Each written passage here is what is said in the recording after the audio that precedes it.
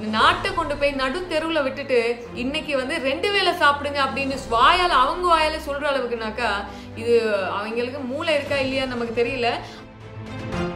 ஹாமுதுருமார் அதாவது என்னுடைய சக மதகுருமார் சொல்றாங்க இந்த காலத்துல வந்து பயங்கரமா இறுதி சடங்குகள் மரண சடங்குகள் நடந்துட்டு இருக்கு.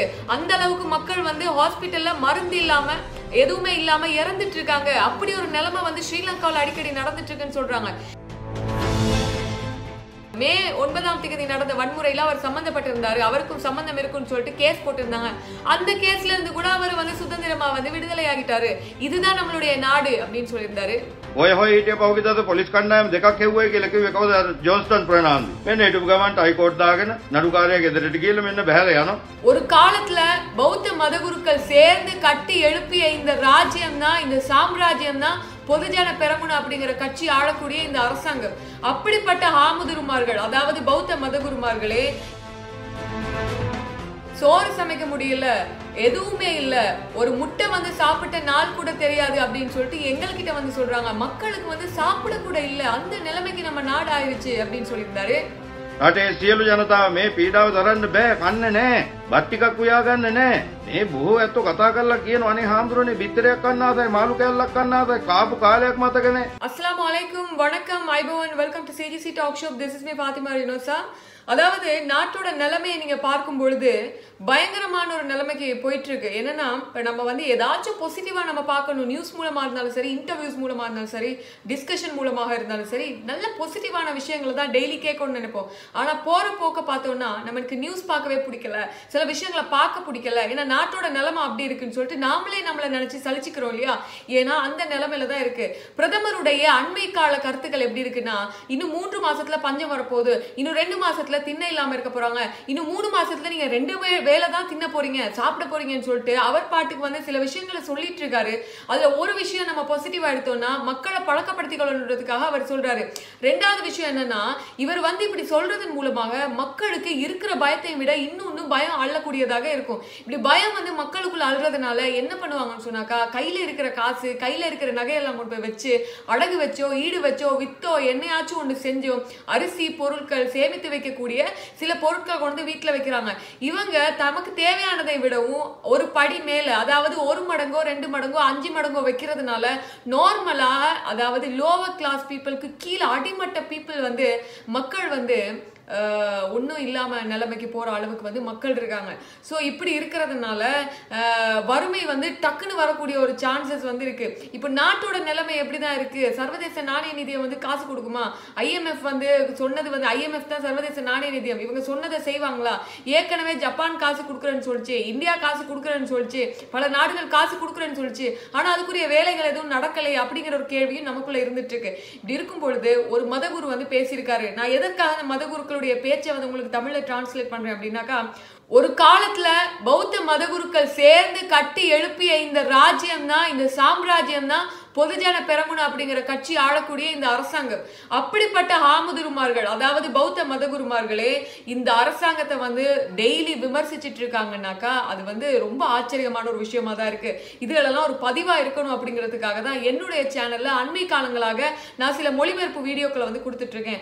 இன்னைக்கு ஒரு வந்து மதகுரு வந்து ரொம்ப முக்கியமான சில விஷயங்களை சொல்லியிருக்காரு. நிஜமாவே அவர் பேசுறதுல நூத்துக்கு நூறு வீதம் உண்மைதான் இருக்கு. அதை உங்களுக்கு கொடுக்கலாம்னு தான் இருக்கேன். அவர் என்ன சொல்லியிருக்காருன்னா ரணில் விக்ரமசிங்க அவர்கள் பிரதமராக கதிரையில் அமரும் பொழுதே நாங்க சொன்னோம் இது வந்து எந்த சேஞ்சஸும் வரப்போறதில்ல இது வந்து ரொம்ப தூரத்துக்கு போக போகுது இந்த நிலைமை அப்படின்னு சொல்லிட்டு நாங்க அப்போவே சொன்னோம் அப்படின்னு சொல்லியிருந்தாரு. වික්‍රමසිංහ ඔය අගමැති පුටුවේ අගමැති විදිහට වාඩි වෙනකොට අපි කිව්වා ඒක. වෙනසක් වෙන්නේ නැහැ. මේ තව දිගුවක් තියෙන්නේ මේ අමාරුකම් තව දරාගෙන ඉන්න වෙනවා. මිනිස්සුන්ට තියෙන මේ අමාරුකම් දරාගෙන එහෙම මේ තමන්ගේ ජීවිකාව අමාරුවෙන් ගැට ගහ ගන්න වෙලා තියෙනවා. තව එන්නේ අමාරු වෙනවා.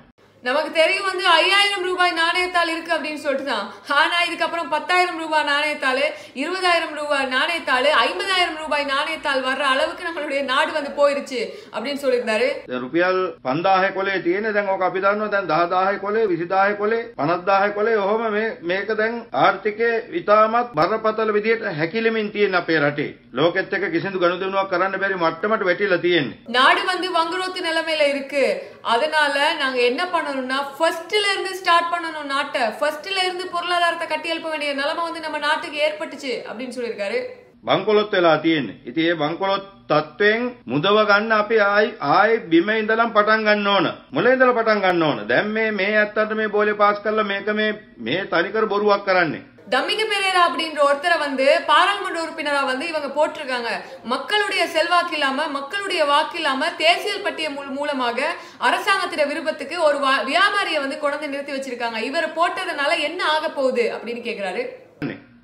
தம்பிக்க பெரேரா දැන් මේක ඇවිල්ලා මේ නොඑක් විදිහේ මේ තනි පුජ්‍යලයන්ට ව්‍යාපාරංකාරයින්ට බදු වංචා කරයි කියලා කියනවා ඔහු. ආණ්ඩුවට ගෙවන්න දෙන බ- බදු කෝටි ප්‍රකෝටි ගණනින් එවලා නැති බදු වංචා කරපු පු- වංචාකාරයෙක් කියලා කියනවා. එහෙම නොඑක් විදිහේ මේ සමාජ ක- කතාවන් තියෙනවා ඒ පිළිබඳව. அதாவது மக்கள் மூலமாக வந்தவருக்கு தான் மக்களுடைய பிரச்சனை என்னன்னு தெரியும் இவர் வந்து ஒரு பெரிய பிரஸ்டீஜ்ல இருந்து பெரிய ஒரு ஸ்டேட்டஸ்ல இருந்து அவருக்குன்னு ஒரு தனி சாம்ராஜ்யத்தை உருவாக்கின ஒரு பிசினஸ்ல தம்மிக பெரேரா பத்தி உங்களுக்கு தெரிஞ்சிருக்கும் அவரை கொண்டு வந்து வச்சாக்கா இது வந்து சி- ந- நிலைக்குமா இது வந்து நல்லாவா நடக்கும் அப்படின்னு கேக்குறாரு අනිත් එක දැන් ඒ වගේ මේ උඩින් පුජ්‍යලව ගෙනල්ලා මේ පාර්ලිමේන්තුවේ වාඩි කරලා මේ ජනතාව දන්නෙත් නැහැ. ජනතාවගේ ජනවරමකින් ආපු මිනිස්සෙක් නෙවෙයි දැන් මේ රටේ තියෙන මේ ජනවරමකින් ආපු අය නෙවෙයි කරුණාකරලා මේක පන්නලා දාන්න ඕන. අපේ රටේ ජනතාව. අපේ රටේ ජනතාවට පුළුවන් ඒක. சோறு சமைக்க முடியல எதுவுமே இல்ல ஒரு முட்டை வந்து சாப்பிட்ட நாள் கூட தெரியாது அப்படின்னு சொல்லிட்டு எங்ககிட்ட வந்து சொல்றாங்க மக்களுக்கு வந்து சாப்பிட கூட இல்ல அந்த நிலைமைக்கு நம்ம நாடு ஆயிருச்சு அப்படின்னு சொல்லியிருந்தாரு රටේ සියලු ජනතාව මේ පීඩාව දරන්න බෑ කන්න නෑ. බත් ටිකක් උයා ගන්න නෑ. මේ බොහෝ ඇත්තෝ කතා කරලා කියනවා අනේ හාමුදුරනේ බිත්තරයක් කන්න ආසයි මාළු කෑල්ලක් කන්න ආසයි කාපු කාලයක් මතක නෑ. හරි අමාරුවෙන් කන්නේ. බයිසිකල් එකෙන් රස්සාවට යන්නේ. මේ විදිහේ මේ වි- බරපතල විදිහේ අමාරුකම් කියන. ඒ නිසා කරුණාකරලා තවදුරටත් ජනතාව නිස්සද්ද වෙන්න එපා. உங்களால முடியலன்னா அந்த ஆட்சியை விட்டு போயிருங்க மக்களுக்கு வந்து இதுக்கு மேலே பொறுக்க முடியாது அப்படின்னு அவர் சொல்லியிருந்தாரு මේ අමාරුකම ඇවිල්ලා කියන්න මේ තමුන් නැහැලට බැරි නම් මේක දාලා මේක රටේ ජනතාවට දීලා යන්න කියලා. රටේ ජනතාව එකතු වෙන්න. විදේශගත ශ්‍රී ලාංකික ජනතාවත් මේකත් එක්ක එකතු වෙන්න. එකතු වෙලා මේ රට බිඳුවේ ඉඳලා අයන්නේ ඉඳලා හදන්න ඕන මේ රට. ஒவ்வொருத்தரையும் வந்து அவங்களுக்கு விருப்பத்துக்கு மாதிரி க- ஆட்சி கதிரையில வந்து அமர வச்சிட்டு இருக்காங்க பெசில் ராஜபக்சே வந்து உட்கார வச்சாங்க. என்ன சொன்னாங்க? அதாவது இவர் பெரிய ஒரு நல்ல நிதியமைச்சர்னு சொல்லி வந்து உட்கார வச்சிருந்தாங்க. கடைசியில் அவருக்குன்னு சொந்தமான ஒரு வீடு இருந்துச்சு. மல்வானையில மாப்பிட்டி கமையில இருந்தது வீடு. இப்போ ரீசெண்டாக வந்து எரிச்சாங்க இல்லையா ஒரு வீட்டை? அந்த வீடு யாருன்னு தெரியாது. இது இவருக்கு தான் சொந்தக்காரரு அப்படின்னு சொல்லி கேஸ் போட்ட உடனே அதுல இருந்து கூட அவர் சுதந்திரமா தப்பிச்சு வந்துட்டாரு அப்படின்னு சொல்லியிருந்தாரு. නිසා දැන් මේ ඔලුගෙඩි මාරු කරලා එක එක පුජ්‍යලෝ ගෙනල්ලා මේ සීට් එකේ වාඩි කරවලා දැන් බැදිල් රාජපක්ෂ අර අර උසාවියේ නඩුවක් තිබුණා. මොකද අර මල්වානේ කෝටි ප්‍රකෝටි ගාණක් වියදම් කරලා හදපු ගෙයක් පිළිබඳව ඒකට අයිතිකාරයක් නැtei කියලා ඒ නඩුවේ මේ පහුගිය දවස්වලත් ඒකට ගිනි තියපු වෙලාවෙත් ඔයදි මහත්තයා පිළි අරගෙන තිබුණා ඒක බැසිල්ගේ ගෙදර කියලා. முன்னாள் ஆளுங்கட்சியின் பிரதம கொறடாவான ஜான்ஸ்டன் பெர்னாண்டோ இவரை வந்து தேடுறதுக்கு ஒரு ரெண்டு டீம் அமைச்சிருந்தாங்க காவல்துறைகளை ஆனால் அவர் வந்து தப்பிச்சு தப்பிச்சு கடைசியில் அவரும் வந்து கோர்ட்டில் வந்து வழக்க போட்டு அவரும் வந்து சுதந்திரமாக வந்து அவருடைய கேஸ்ல இருந்து விடுதலை ஆயிட்டாரு. மே ஒன்பதாம் தேதி நடந்த வன்முறையில அவர் சம்மந்தப்பட்டிருந்தாரு அவருக்கும் சம்மந்தம் இருக்குன்னு சொல்லிட்டு கேஸ் போட்டிருந்தாங்க. அந்த கேஸ்ல இருந்து கூட அவர் வந்து சுதந்திரமாக வந்து விடுதலை ஆகிட்டாரு. இதுதான் நம்மளுடைய நாடு அப்படின்னு சொல்லியிருந்தாரு. ඊළඟට අර කවුද මේ හොය හොය හිටිය පහුගිය දවසේ පොලිස් කණ්ඩායම දෙකක් හෙව්වයි කියලා කිව්වේ කවුද අර ජොන්ස්ටන් ප්‍රනාන්දු. මෙන්න හිටපු ගමන්ට හයිකෝට් දාගෙන නඩුකාරයා ගෙදරට ගිහලා මෙන්න බහැලා යනවා. இந்த மாதிரி நிலைமையை தான் நம்ம நாட்டுல இருந்து இல்லாம தூக்கி போடணும் அதாவது ஜனாதிபதியில இருந்து சாதாரண மனுஷன் வரைக்கும் எல்லாருக்கும் ஒரு நீதி இருக்கணும் உயர்ந்தவங்கன்னா பணக்காரவங்களா இருந்தா வசதி உள்ளவங்கன்னா ஸ்டேட்டஸ் உள்ளவங்க இருந்தா அவங்களுக்கு ஒரு நீதி சாதாரண ஒரு மனுஷனுக்கு ஒரு நீதின்னு சொல்லிட்டு நம்ம நாட்டுல வந்து இருக்கக்கூடாது இந்த நிலைமையை தூக்கி போடணும் அப்படின்னு சொல்லிட்டு மதகுரு சொல்லியிருந்தாரு ඉතිේස කරුණා කල්ලා මෙන්න මේ தත්ත්වය අපේ රටේ නවත්තන්න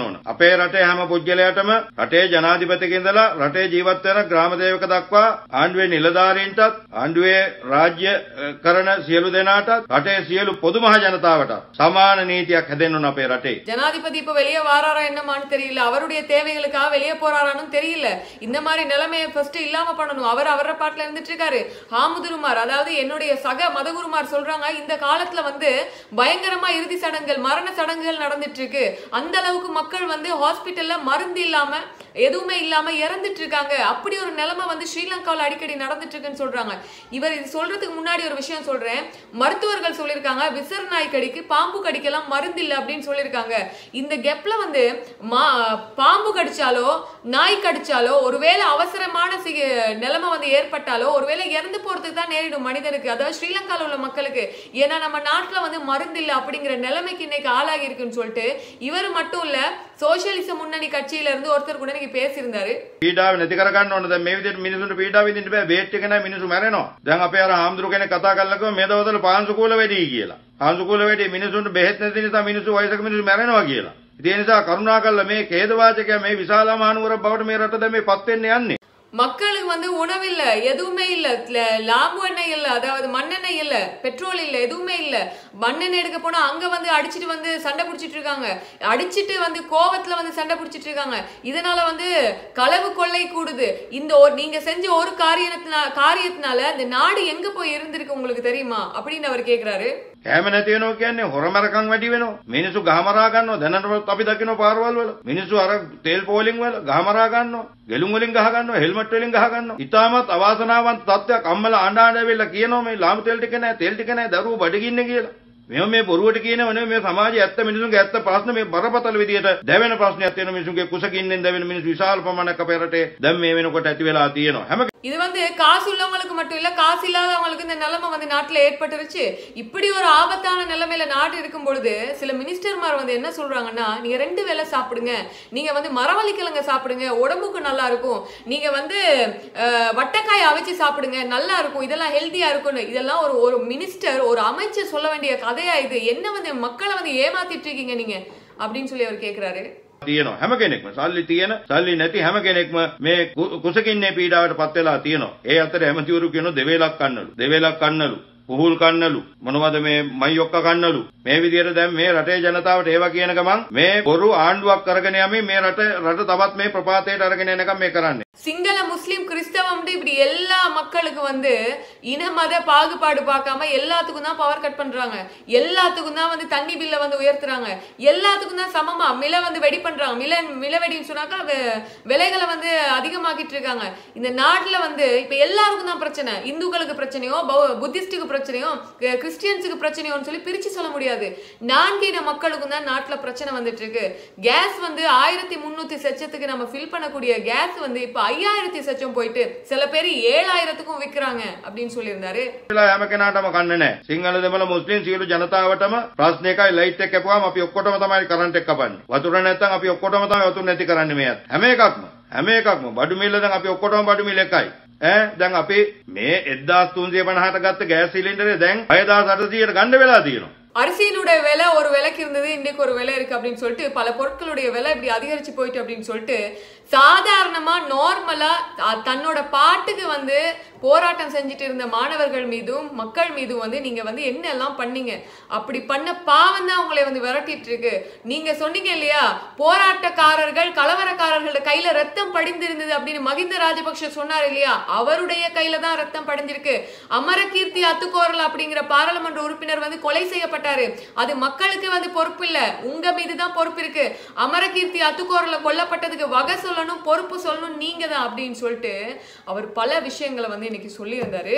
තමුන් තමයි ඒ ඔය අතුකෝරාල මහත්තයා මරණය මරණයකට වග කියන්න ඕන. තමුන් තමයි අර අහිං නි- නිරායුධව අවිහිංසාවෙන් කරගෙන ගියපු ඒ අරගලයට පහර දීලා විරලා ඒ තරුණයන් රටේ ජනතාව කෝ ප්‍රකෝ- ප්‍රකෝප කරවලා ඔය අපරාධය කරේ. තමුන් ඒක කරේ. එනිසාකේ පාපේ තමුන්ට එන්නේ. அதோட இதுதான் விஷயம் நாட்டோட நிலைமை போக போக போக போக ரொம்ப ஒரு காம்ப்ளிகேஷன்ல போய் முடிஞ்சிட்டு இருக்கு அதுல இன்னொரு விஷயம் என்னன்னு பாத்தீங்கன்னா கடந்த மார்ச் மாசம் மட்டும் ஒன்னரை லட்சம் பேருக்கிட்ட நான் ஒரு லட்சத்தி இருபதாயிரம் சொல்றாங்க. அந்த அளவு இளைஞர்கள் வந்து வெளிநாட்டுக்கு போறதுக்காக ரெடியா இருக்காங்க. அவங்களுக்கான விசா வந்து கிடைக்கப்பட்டிருக்கு அப்படின்னு பேர சொல்லப்படுது. ஏன்னா இளைஞர்கள் எப்படி இருப்பாங்க சொல்லுங்க? பெட்ரோல் விலை ஆயிரத்தி சச்சத்துக்கு வந்துருச்சு. கேஸோட விலை இவ்வளவு வந்துருச்சு. அரிசியோட விலை இவ்வளவு வந்துருச்சு. இப்போ மக்கள் வந்து சில பொருட்கள் எடுத்து களஞ்சியப்படுத்தி வைக்கிறதுல தப்பே கிடையாது. என்னன்னா பத்து பேர் இருக்கிற சின்ன சின்ன பசங்க இருக்கிற வீட்டுல வந்து இவங்க எப்படி வந்து ஃபேமிலியை ரன் பண்ண போறாங்கன்னு தெரியாதுங்க. இது வந்து நாடு வந்து எங்க கொண்டு போய் நம்மளை விட போகுதுன்னு தெரியல. ஆனா இந்த பேச்சுக்கள் இருக்கு இல்லையா? நீங்க வீட்ல வந்து மரக்கறியை நட்டுங்க நீங்க வீட்ல வந்து வெண்டிக்காய் செடியை நட்டுங்க வீட்ல வந்து தக்காளி மரத்தை நட்டுங்க. இப்படி எல்லாம் சொல்லறதுக்கு இந்த மினிஸ்டர்மாருக்கு இந்த மந்திரிமாருக்கு இந்த பார்லிமெண்ட் உறுப்பினருக்குலாம் வெக்கம் இல்லையா முதல்ல? நாட்டை கொண்டு போய் நடு தெருவில் விட்டுட்டு இன்னைக்கு வந்து ரெண்டு வேளை சாப்பிடுங்க அப்படின்னு வாயால் அவங்க வாயால சொல்ற அளவுக்குனாக்கா இது அவங்களுக்கு மூளை இருக்கா இல்லையா நமக்கு தெரியல. ஆனா நேத்துக்கு ஒரு கல்யாண வீட்டுக்கு போயிருந்தேன் மல்வானைக்கு போயிருந்தேன். அங்க பாத்தீங்கன்னா பெட்ரோல் ஷெட்டு கிளனியில் உள்ள ஒரு பெட்ரோல் ஷெட்ல கிட்டத்தட்ட ஆயிரத்துக்கும் மேற்பட்ட மக்கள் குவிஞ்சு போயிருந்தாங்க. போகும்போது நின்னாங்க வரும்போது நின்னாங்க மண்ணெண்ணெய்க்காக. இந்த பாவத்தை எங்க போய் கழிக்க போறாங்க? இந்த இந்த சாபத்தை எங்க போய் கழிக்க போறாங்க? இந்த மக்களுடைய அல்லலை இவங்க எங்க போய் வகை சொல்ல போறாங்க அப்படிங்கறது தான் தெரியல. போக போக பார்க்கலாம். இன்னொரு வீடியோல சந்திக்கிறேன். நன்றி.